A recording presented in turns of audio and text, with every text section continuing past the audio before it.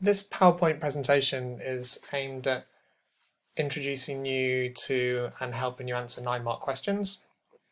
For today's question, you can see it's here on the front of the PowerPoint. For a name, city and a HIC, to what extent do the opportunities outweigh the challenges?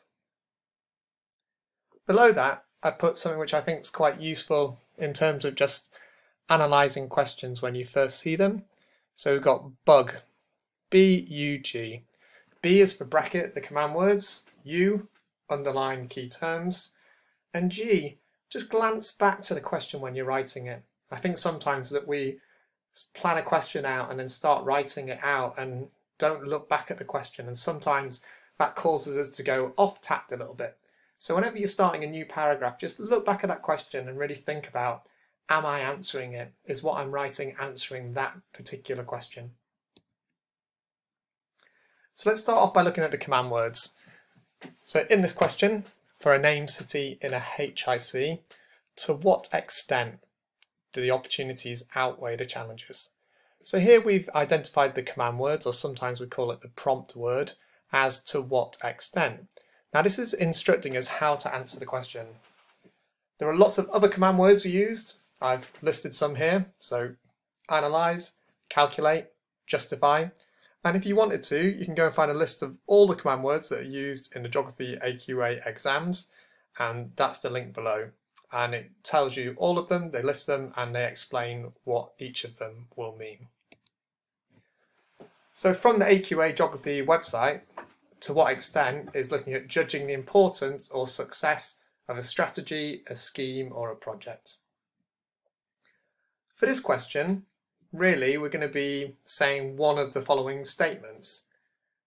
So we think that Sheffield has more opportunities than challenges. Two, we think that Sheffield has more challenges than opportunities. Or three, we think that Sheffield has a balance of opportunities and challenges. It's really important that in your introduction you state which of those statements you agree with. So it's really important that you say to what extent you think either Sheffield has lots of opportunities and those opportunities are greater than the number of challenges, or you think one of the other two statements. Now for the key terms here, I've underlined quite a few. So I've underlined named city, I've underlined HIC, opportunities, outweigh, and challenges. It's really important we understand as much as we can about the question and what it's asking us to write about, and that's going to make us have a really focused answer. So let's have a look at what some of these are. So to begin with, named city. So you're going to need to name a specific city in your answer. HIC, that city will need to come from a high income country opportunities, I've just said here that they're the positive things that living in a city can bring to either an individual or maybe the wider community. Challenges are the opposite, so they're maybe the negative things or any problems that we might find about living in a city. And this term outweigh is really thinking about, well, which one is greater than the other. The bottom right hand side here I've just put in a little grey box the case studies for urban issues and challenges. It's really important that you know what case studies relate to which exam paper and each section of the exams you're doing. I would almost write them and put them on my wall so I had them around me for each of the different topic areas. So when you come to these questions, you know what it's asking for. This one is asking for a name, city and a HIC. Well, the only cities we've looked at so far in urban issues and challenges is Rio de Janeiro and Sheffield. Rio is arguably uh, a LIC or possibly a newly emerging economy, whereas Sheffield is a HIC.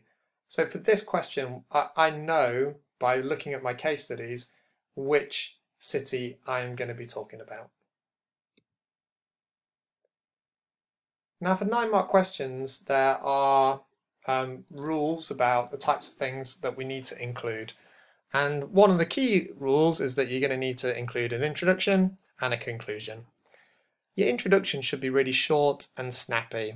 You need to name the city that you're going to be looking at, and you need to say to what extent you think the opportunities either do or do not outweigh the challenges. This example below is a really simple way of conducting an introduction. Sheffield is a city in the north of England.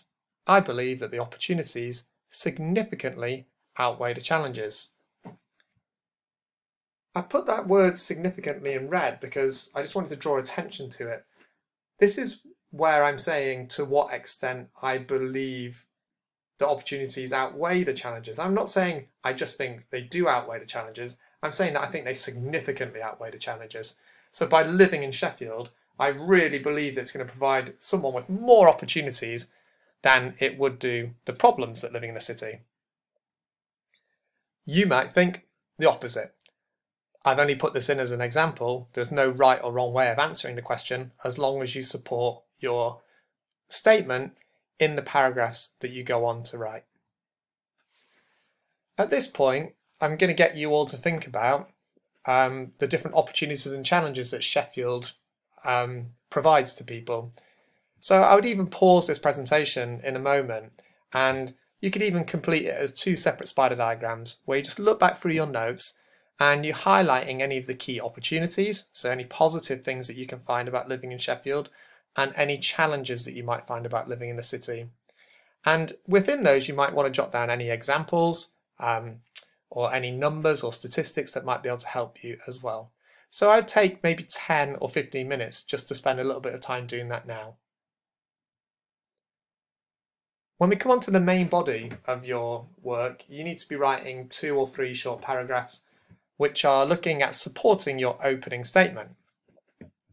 Now you should all be familiar with the structure that we use, which is P, E, E, G. Now it starts off with a point, so making sure that you're making a clear statement. And then these two, you can, I always think that you can interchange them slightly. So when it comes to explain or expand and evidence, I think it's you can do it either way round, whichever way suits you. But you do need to make sure you are including evidence if possible and explaining and really expanding upon your point. The G for geography is trying to link the point that you're making to the bigger, wider picture of geography. Now we developed this system by the PEEG by looking at the examiner's report.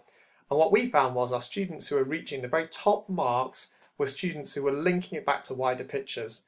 So if you're talking about pollution in Sheffield and problems with congestion and car use, the G for geography would be linking that to the wider picture of global warming and climate change. So it's just showing that you can you can envision you can really see um, the wider picture of the geography that you're studying is not only related to Sheffield as a city, but it's also related to the wider world that we live in. Now, with the PEEG, it's an aspirational paragraph. We know that in an exam, when you're under pressure, you're not always going to be able to um, include all of these points. But we feel if we can aim for this, aim to use this structure, one, we can create really good answers which we can use to revise from. And two, if we get anywhere close to these answers in the exam, we think that they are going to be, you know, really allowing you to access the higher marks. Now, I'm not going to go through this, but it might be good for you to have a look at this. This is an example that Miss Glue put, and it's actually on the sheets that we use in school of how to write a nine mark question. You might just want to have a look at this paragraph. It outlines a challenge, um, which is looking at pollution within the city. And you can just have a read through it and think about how she structured her answer and use the PEEG structure. In your answer, it's going to be really important to give both sides of the argument. So if you're arguing that the challenges are greater than the opportunities, you might write two paragraphs talking about what the challenges are, and then a paragraph, and this could be a shorter paragraph, recognizing the fact that you do see there are opportunities. So it is important that your answer has some balance to it. Finally, you'll need to include a conclusion. And your conclusion should be very simple and straightforward, short and snappy, saying uh, um, to what extent you think the opportunities either do outweigh or do not outweigh the challenges, or it might be the case that you think there is a balance. Here on the right hand side, you've got something called the extent-o-meter.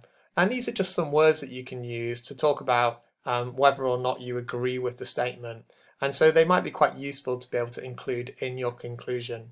It shouldn't be longer than one or two sentences. And if you can, you should try and link it back to the question and summarize your answer. So hopefully this will help you in terms of um, having a go at doing a nine mark question. This can be applied to uh, any nine mark question that you have in the exam to try and use this structure. Obviously every question is different, but hopefully this will go some way to helping you structure your answers in a way that allow you to reach the top mark boundaries.